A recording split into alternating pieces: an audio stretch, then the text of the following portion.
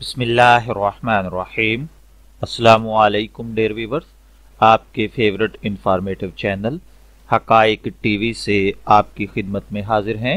ہمارا آج کا موضوع گفتگو بڑی الائچی ہے، جسے پنجابی میں وڈی لاچی، اردو میں بڑی الائچی الائچی کلاں، فارسی میں ہل سیاہ، اور عربک میں ہیل الاسود، بنگالی میں برول اچ کہا جاتا ہے۔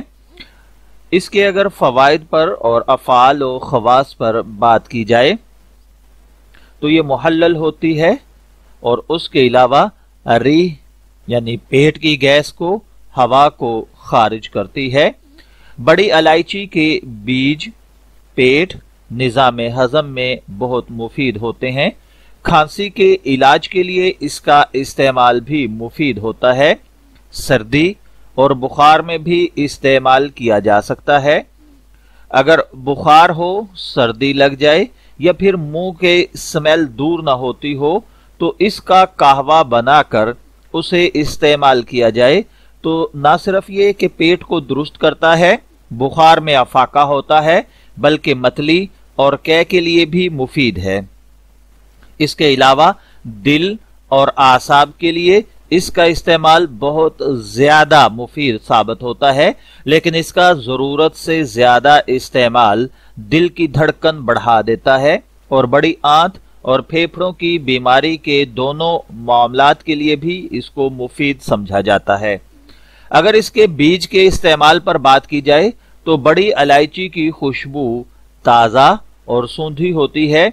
چین، انڈیا مڈگاسکر صومالیہ اور کیمرون میں اگائی جاتی ہے، بڑی یعنی کالی الائچی، اور ہری الائچی کو ایک دوسرے کی جگہ استعمال کیا جا سکتا ہے، لیکن عام طور پر چھوٹی الائچی کا استعمال کھانوں میں ہوتا ہے اور بڑی الائچی کا استعمال عام کھانوں میں ہوتا ہے۔ کھانے میں اس کو زیادہ تعداد میں ڈال سکتے ہیں، یہ ذائقہ کو نکھارتی ہے، اس پر حاوی نہیں ہوتی۔ عموماً اس کا چھلکا پوری طرح سے نہیں اتارا جاتا۔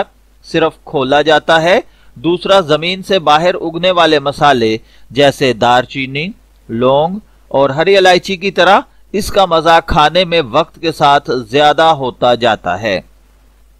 اس لیے کورما جیسی ڈش میں کچھ گھنٹوں کے بعد ذائقے میں اضافہ ہوتا ہے۔ بڑی الائچی دیسی دواؤں میں بھی استعمال کی جاتی ہے۔ اب آتے ہیں اس کے کچھ نسخہ جات کی طرف۔ اگر آپ اس کو پیچس کے لیے استعمال کرنا چاہیں تو اس کا طریقہ یہ ہے کہ سونف پانچ گرام، اجوائن دیسی پانچ گرام، انار کے خشک پتوں کا پاؤڈر سات گرام، سبز الائچی چار عدد، بڑی الائچی چار عدد، پودینہ خشک پانچ گرام، سبز چائے کی پتی آدھا چائے کا چمچ دار چینی کا پاؤڈر سات گرام۔ اس کی تیاری کا طریقہ دیکھ لیجیے۔ دو کلو پانی میں سب اجزاء کا پاؤڈر ڈال کر ہلکی آنچ پر اتنا پکائیں کہ پانی کا رنگ سبزی مائل ہو جائے یعنی کہ پندرہ سے بیس منٹ تک پکائیں۔ پھر اس میں حسب ذائقہ چینی ملا لیں اور چولہا بند کر کے دم کریں اور اس کو چند منٹ کے لیے چھوڑ دیں۔ اور ٹھنڈا ہونے پر ایک چائے والا کپ دن میں دو سے تین بار استعمال کریں۔ انشاءاللہ پیچس رک جائیں گے، پیٹ درست ہو جائے گا۔ اور دیگر امراض کے لیے بھی بے حد مفید ہے۔ اس کے علاوہ، الائچی کلا کے فوائد میں گرمی کے سر درد میں اس کے چھلکے کا لیپ فائدہ دیتا ہے۔ اس کے دانوں کا صفوف مسوڑوں کو طاقت دیتا ہے۔ دست اور کے میں الائچی کلا تین عدد، سونف تین گرام، پودینہ خشک تین گرام، پانی میں جوش دے کر پینا بے حد مفید ہوتا ہے۔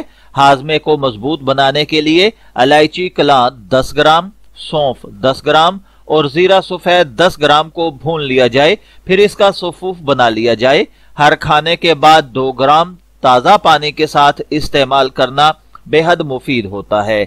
اسی طریقے سے الائچی کے بے شمار فوائد ہیں۔ عام طور پر مسالہ جات کا ایک خاص جزو ہے۔ پلاؤ میں خصوصاً خوشبو کے لیے ڈالتے ہیں۔ بطور دوا بہت سارے لوگ اس کا استعمال نہیں جانتے، لیکن ضرور استعمال کرنی چاہیے۔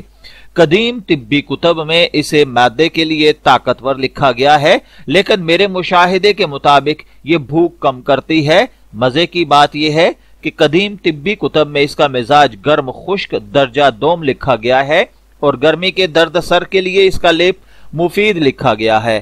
حیران ہونے کی بات نہیں کہ کس طرح مکھی پر مکھی ماری گئی ہے۔ سیلان الرحم کی ادویات میں بھی اسے ڈالا جاتا ہے۔ میں دعا گو ہوں کہ اللہ تعالیٰ صحیح طور پر ہمیں علائچی کلاں سے مستفید ہونے کی توفیق عطا فرمائے۔ اجازت چاہیں گے، پھر ملیں گے کسی نئے انفارمیٹو موضوع کے ساتھ۔ تب تک کے لیے اللہ حافظ۔